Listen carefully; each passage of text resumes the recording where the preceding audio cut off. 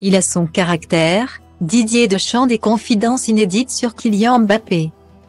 C'est officiel, Didier Deschamps a révélé l'identité de 26 joueurs qui vont représenter la France lors de la prochaine Coupe du Monde 2022.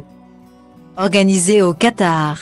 Force est de constater que ce choix n'a pas été des plus simples à faire pour le sélectionneur. La raison Les nombreux footballeurs de talent qui se sont blessés au cours de ces derniers mois.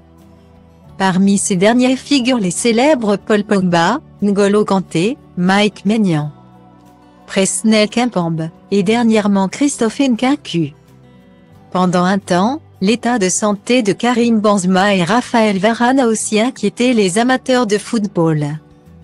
Heureusement, le Ballon d'Or 2022 et le champion du monde, finalement sélectionné se sont rétablis à temps pour pouvoir prochainement disputer les matchs de la compétition.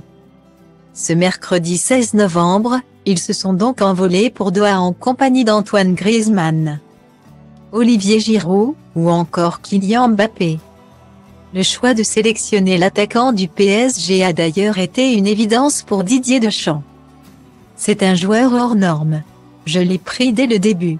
Il est toujours jeune mais il a des capacités à faire certaines choses qui appartiennent à une catégorie de joueurs qui sont les meilleurs au niveau mondial.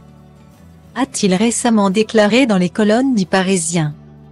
Un discours qui ne manquera pas de faire plaisir à l'intéressé, bien que Didier Deschamps ne cache pas qu'il devra aussi composer avec le tempérament du titier parisien. Il a son caractère et sa personnalité, mais il n'est pas difficile à gérer. A conclu le célèbre entraîneur.